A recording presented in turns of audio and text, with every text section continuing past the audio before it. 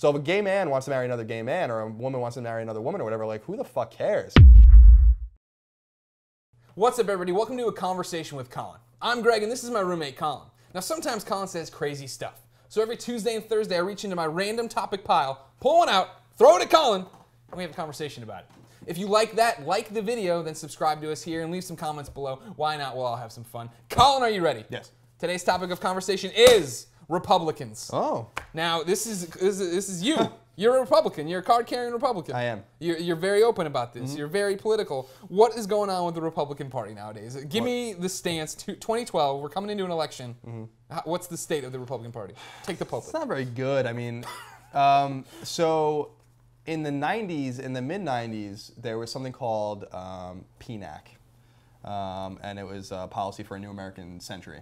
And it was the origins of the neoconservative movement that took over the Republican Party towards the end of Clinton's administration and then basically the Bush administration.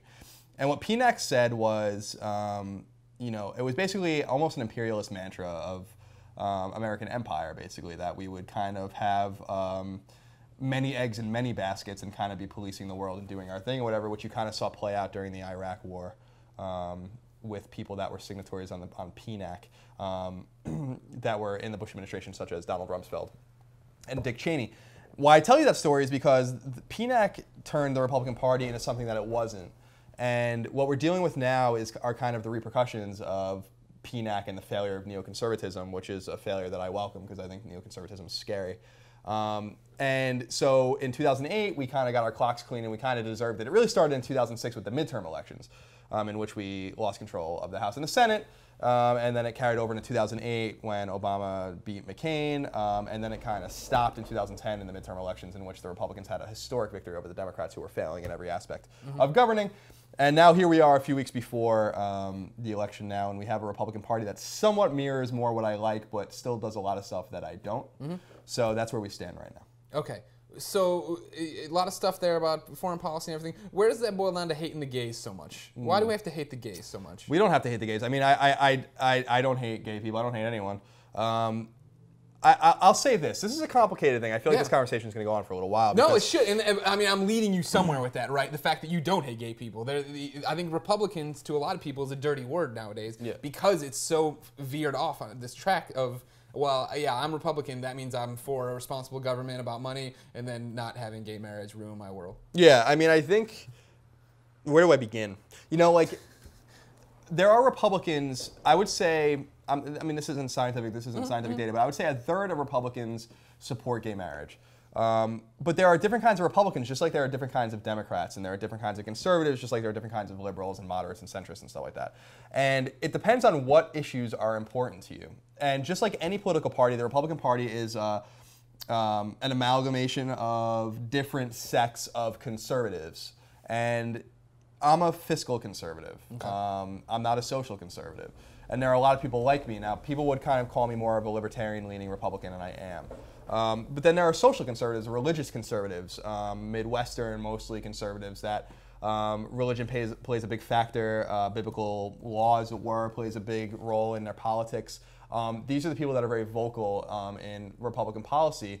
And in order to win any election, just like the Democrats must take the crazies from Occupy with the moderate DINOs from the center and like What's the like Democrat in name only, or a RINO is Republican in name only. Gotcha, thank you. People that are somewhat somewhat in the middle, where they're not really Republicans, they're not really Democrats. In other words, people from all both strata, different echelons, you put them together and you win elections. So.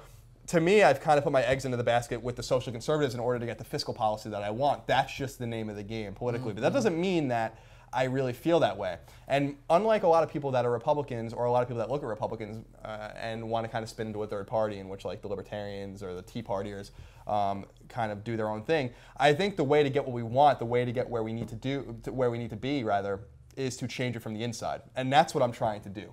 Because like any political party, they're malleable and they change over time somewhat. Yeah. Uh, not much, but somewhat. And if we can drive the social conservatism outside, like I tell you all the time, if we can drive social conservatism out of the party, Republicans win every single election from that point forward. This is what we talk about, right? Is. I like to consider myself an independent. So like I watch the debates and I listen to it, and like you, Romney and the Republicans make a lot of great financial points, and then we have to get hung up on abortion or something else, and it's that's what for me I have to try to weigh where I want to go. You know what I mean? Like that's that's hard I think for voters then to get a grasp, and especially as uh, fucked up as the two-party system is. You know what I mean? That it, it seems like you have to pick a side and then you have to hate somebody else. That we get into this closed dialogue where we have in Wisconsin senators, you know, walking off the floor, running, leaving the state. Yeah, that was that vote. was just embarrassing. Yeah. Um, and they, they, you know, they paid obviously at the ballot box, even though they didn't think they would, which was quite funny. Um, to me, you know, I look at it two different ways. I think that there's a lot of hyperbole from the liberal side about Republicans that they hate women, that they hate gay people.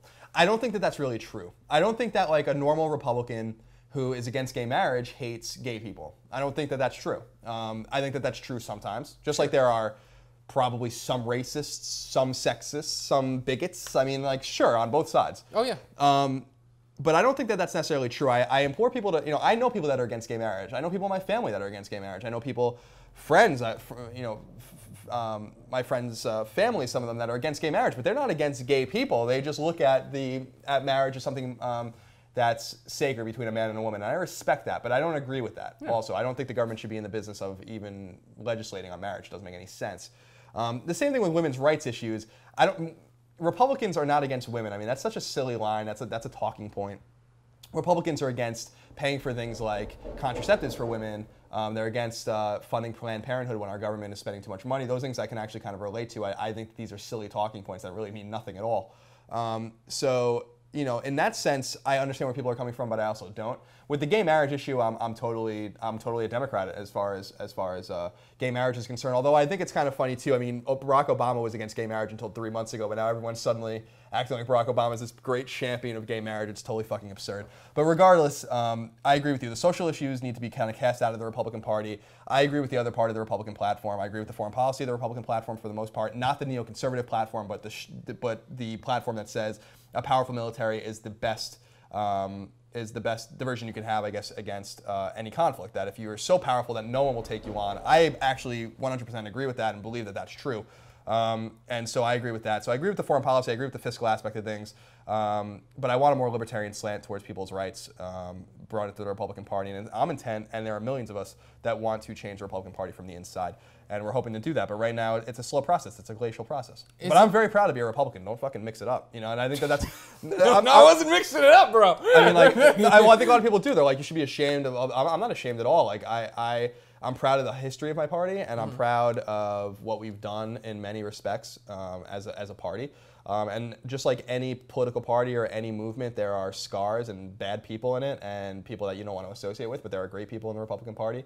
Um, I think that they mean well, and, and I think uh, you know as long as we can get these social issues, these backward social issues that hurt us with um, women, they hurt us with um, some minority groups, they hurt us with gay people. I think that um, I think that there are plenty of fiscally conservative gay people that would love to be Republicans, Sure. but they feel like the party platform hates them. Do you I think get this it. is something that ages out of the party? I mean, is older people who aren't, eh, you know, weren't raised in an environment where you could be openly gay or weren't raised around minority, you know, I mean, all these little things people get hung up on, they turn into giant issues.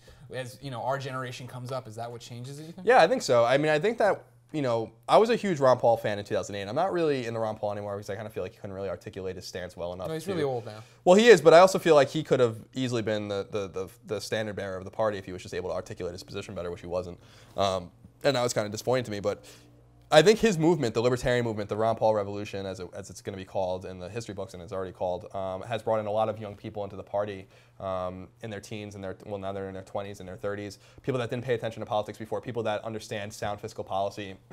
um, but are against American adventurism and imperialism, um, and are also for personal liberties. Um, because as far as I'm concerned, things like um, you know moderate drugs should probably be legal. Prostitution should certainly be, certainly be legal. Yeah. Um, you know things things that don't hurt anyone. My my whole mantra is if you're not hurting anyone, you know, do unto others. You know what I mean? Um, to each his own. Live and let live. And I really really believe in that. So if a gay man wants to marry another gay man, or a woman wants to marry another woman, or whatever, like who the fuck cares? If we have another family that can support a child and and, you know and raise children, even if they adopt them, um, or have to adopt them, that's great. That's important. That's good stuff. It doesn't mean you can't have it come from a loving family in which you know you come from a lesbian family or a family of gay men. That's that's fucking silly. Like I, I don't like that kind of stuff, um, and I want to ex- exercise that from from the party platform. Um, but it's frustrating that we have to kind of talk about these things all the time. They always come up. Um, and it is a problem. It's the Achilles heel of the party. Yeah. Um, and I hope it changes. But I- like I said, like the Republicans, you know, can fix this problem, and I hope that they do because, like I said, the, the history of the, the history of the party um, is a proud history, and we can continue. You know, Republicans. You know, here's one of the great myths, Greg. Yeah. Is that um, Republicans and Democrats switch places at some point. This is the great myth in American politics. They switch places? Yeah, and uh, Republicans are Democrats now, and Democrats are Republicans. This is this is one of the great myths that at some point the Oh, parties oh, shift, oh, the oh, parties okay, shifted, okay, okay. and somewhat they did, but somewhat they didn't. Um, and you know, as far as I'm concerned, our our party's history of Republicans freeing the slaves, Republicans fighting Jim, Crow, Republicans fighting the wars that were being waged by Democrats like Woodrow Wilson and FDR. Although World War II, of course, was pretty righteous. I mean, we should we should have fought that war. Um, Democrats um, extending uh, travesties like the Great Depression, like FDR did, um, with all of his governmental policies. The Democratic uh, Dixiecrat governors in the 40s, 50s, and 60s that were trying to segregate schools uh, were, you know, those were Democrats. The Republicans were the ones that wanted to to, uh, to uh, integrate the schools. Eisenhower, a Republican, sent the military in to do that. Um, you know, So, so, so there's the example, right, of them switching it, at least for popular opinion, right? Yeah, I mean, but but it's all perception. You know what I mean? Sure. Because I guess what I'm saying is, you know, Korea started by the Korean War started by a Democrat. You know, ended by a Republican. Vietnam started by a Democrat, ended by a Republican. Like, you know, there's a proud history of being on the right side of history with the Republican Party, and they must continue this because we're going to be on the wrong side of history with what's going on with you know um, immigration, with uh, gay rights um, and all of these things that are really important to people. And I understand why they're important. They're not as important as the economy and jobs and things of this nature. But I, so I guess what I'm saying is that you know I'm proud of my party. I'm proud of what we've done. Um, and I think we need to take hold of our history, remember where we've been, and the things we've fought for. That being a true conservative is fighting for equality. That being a true conservative is accepting that people are different, but accepting them into our society, into our family. Um, that being a Republican is leaving other people alone to make their own decisions. That is being a Republican, you know? And ceding that to the other side is a fucking shame. And I hope that we are able to rectify that in the past because we are the party of Abraham Lincoln. You know, we are the party of Ulysses Grant. We're the party of Teddy Roosevelt. You know, um, we're the party of Eisenhower. We're the party of great men that did great things, and we shouldn't lose sight of that because we lost our way and were sent into the wilderness for a while during the Bush era, and we fucking deserved it. But now we have a chance again. So let's take it. Let's take advantage of it. Let's change the things that need to be changed. Let's keep most of the party platform intact, and I think we're going to be fine. I think the Republicans have a bright future. Okay. Interesting stuff. I hope they lose this election because I bet a pizza on it with you. Uh, ladies and gentlemen, what do you think? Sound right. off in the comments below. Let us know. Subscribe, like, share the video with your friends. It means a lot to us. Uh, every Tuesday and Thursday, we will be back with another random topic of conversation from the pile. Until then, I hope you have a conversational day. I mean, I, I wouldn't use California as an example just because California is a complete fucking disaster.